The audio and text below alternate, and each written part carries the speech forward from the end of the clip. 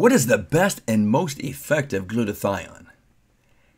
To answer that question, it's very critical to understand the method or how you receive glutathione in your body, blood, and cells. Well, why is that? Effectiveness. Does it do any good for your body, and to what degree? Just being there in your system may not be there for your body. Welcome to another Magic Glutathione video with J Mike of Magic Glutathione. Well, let me ask you would you like to go to your favorite restaurant on a skateboard with two wobbly wheels or in a Rolls Royce? And by the way, would you like to get there in one piece versus running into an accident or two and not showing up with your whole healthy self? Yeah, in one whole piece. And would you like to eat 25 oranges at once or one small acerola cherry to get your vitamin C? That critical information is what you'll learn here. So let's get started.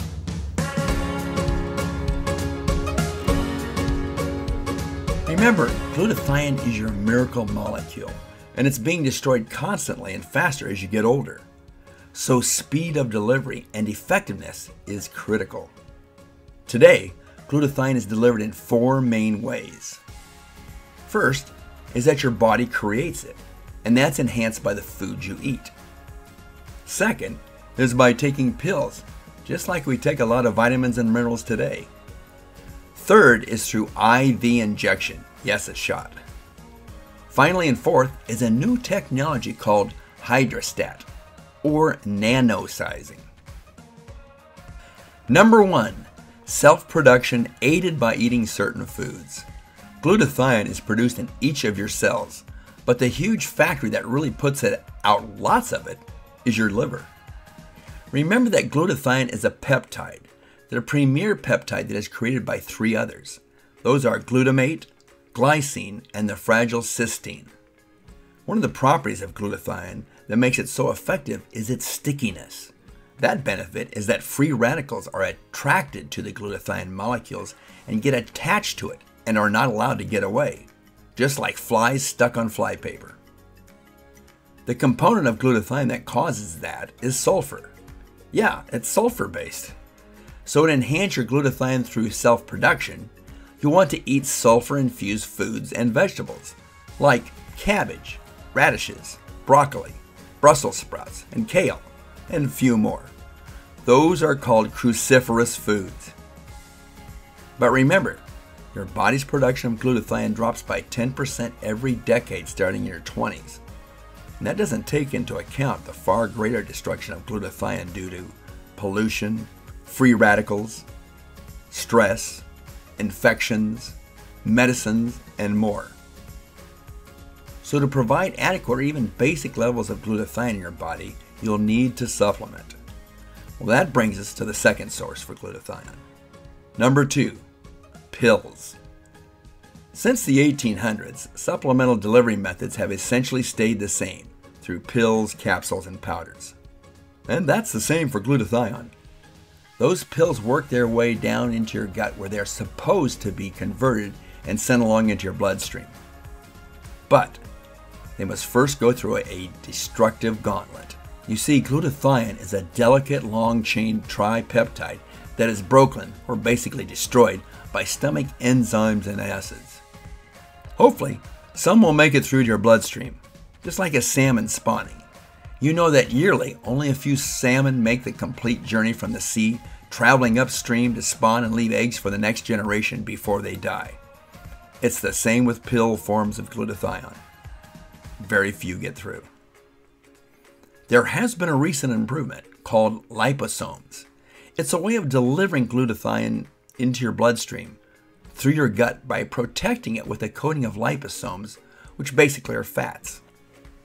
Actually, fats encapsulate or act as carriers for the glutathione and its components. That security guard helps getting past your stomach with far less casualties and a larger portion of it getting past your stomach's acids and enzymes. Still, one of the problems with that is that the fat carriers lose a lot of their glutathione passengers on the voyage through your stomach. Another one of the problems is that fats attract other undesirables to go along with the ride. and possibly those get into your liver. Also, the whole package can go rancid very quickly. Number three, IVs.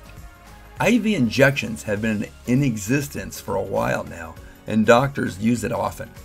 It gets into your bloodstream, but is broken down into its components glutamate, cysteine, and glycine, and then gets into your cells with those components and they are re- reconstructed into glutathione, taking up to 26 minutes according to a study.